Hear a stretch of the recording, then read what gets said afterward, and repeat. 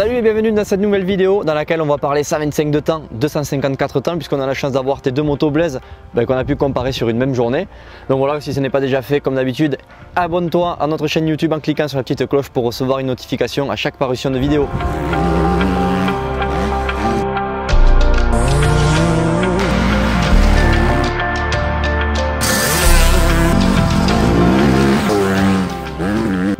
Aujourd'hui on avait tes deux motos, ou plutôt la moto de ton père qui est une 125 HM, donc une ancienne moto d'enduro avec une carte grise mais qui a été vraiment préparée pour le motocross et ta 250 CRF 2020, donc la 125 je précise c'est une 2004 contre une 250 CRF 2020, tu as eu la chance aujourd'hui de rouler sur la même piste avec les deux motos, euh, c'est quoi tes premières sensations?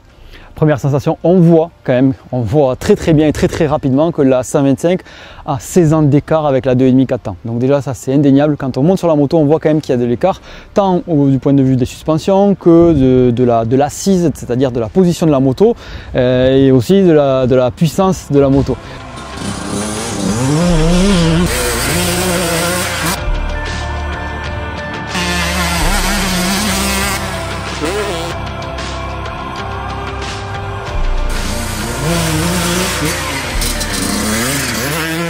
Deux motos différentes, une 125 d'un côté, une 254 temps de l'autre, deux, euh, on va dire des avantages différents d'un côté et de l'autre.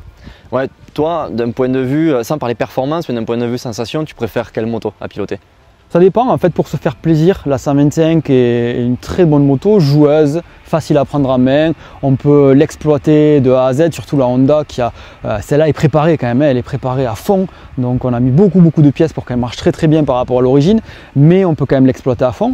Donc une moto plutôt joueuse d'un côté, une 2,5 CRF facile, euh, plutôt sobre, euh, avec laquelle on pourra, on pourra faire des courses plutôt. Donc d'un côté le plaisir, d'un autre côté plutôt la partie course, même si on se fait plaisir quand même avec la 2,5 4 temps.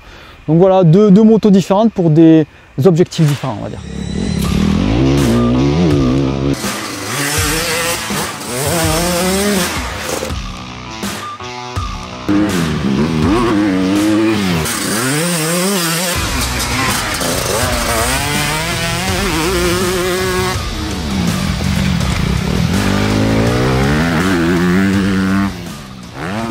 Aujourd'hui, on était sur une euh, petite piste, on va dire. Euh, donc, on pourrait croire que la 125, euh, tu seras avantagé là-dessus, dans les petits virages. C'était sec. Mais est-ce que tu penses que parfois la 125 peut être plus performante que la 2,5 Très franchement, non. Non, peu importe le circuit. Là, on était sur un petit circuit assez glissant, sinueux on peut se dire à première vue que la 125 est plus joueuse, plus petite, donc plus facile à manier dans les virages, donc on va gagner du temps, mais non, très franchement, on voit quand même qu'il y a une différence qui s'est creusée, l'écart s'est creusé entre les 125 et les 2,5 4 temps. Alors attention, on parle d'une 125 CR qui n'est pas la 125 la plus puissante du marché, mais euh, il y a quand même une différence en termes de, maniabilité, d'efficacité surtout, de puissance qui passe au sol, et du coup, la 2,5 Honda 4 temps prend l'avantage à ce niveau-là. Du coup, euh, ok, on a bien euh, spécifié, c'est une vieille moto, cette 125, mais est-ce que le 2 temps est mort? Parce que si on prend des 125 récentes face aux 2,5 4 temps, est-ce que c'est complètement mort selon toi?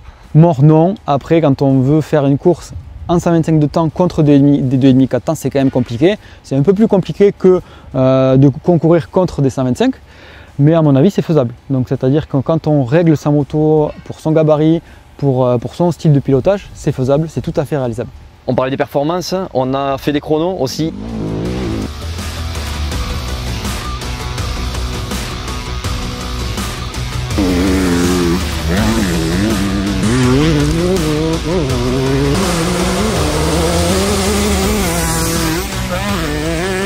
Il y a un petit peu moins de 2 secondes d'écart, forcément plus rapide avec la 2,5. Tu as été surpris, est-ce qu'en sensation tu pensais aller plus vite avec la 125 Les 2 secondes dans ma tête, je pensais qu'il allait avoir deux secondes d'écart. Je le ressentais quand même au pilotage. Je savais qu'il y avait allez, entre une, seconde et demie et deux secondes et demie d'écart. Je connais bien la piste, je connais bien les deux motos.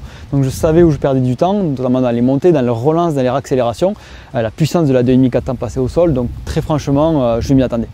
Merci Blaise pour cet essai. J'espère que tu as apprécié autant le bruit du 2 temps que du 4 temps. N'hésite pas à nous mettre en commentaire ben, ce que tu préfères comme moto. Et euh, de notre côté, ben, on te retrouve très bientôt pour une prochaine vidéo sur MX Réflexion.